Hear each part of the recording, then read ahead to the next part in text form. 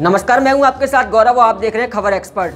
पाकिस्तान के ननकाना साहिब गुरुद्वारे पर जिन लोगों ने हमला किया, उसको लेकर आज मुस्लिम समुदाय के लोगों ने भाईचारे का संदेश देते हुए सिख समुदाय के लोगों के साथ खड़े होने की बात कही। उन्होंने कहा, पाकिस्तान के ननकाना साहिब पर जिन लोगों ने हमला किया है, उन्हें कड़ी से कड़ी सजा मिलनी चाहिए।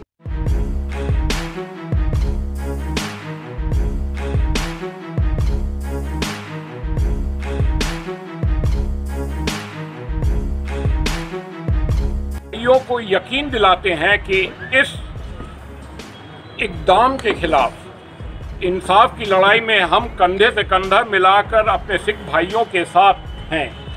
ये जो हम कह रहे हैं, ये हम मुस्लिम समाज की तरफ़ से नहीं कह रहे, हम हिंदुस्तानियों की तरफ़ से कह रहे हैं। ये मुस्लिम समाज नहीं, ये ये हिंदुस्तानी समाज से मैं कह रहा हूँ चाहे उसमें सिख हो, मुस्लिम हो हिंदू हो ईसाई हो, कोई भी हो। बहुत ही निंदनीय घटना पावन पवित्र स्थान ननकाना साहब, जहाँ से हर रोज़ सर्वत के भले के लिए अरदास की जाती है। नानक नाम, चढ़ती कला, तेरे भाने सर्वत का भला। महाराज ने कहा, ना को बैरी नहीं बिगाना, सगल संग हमको बनाई। एक पिता, एक के हम बारक, तू मेरा गुर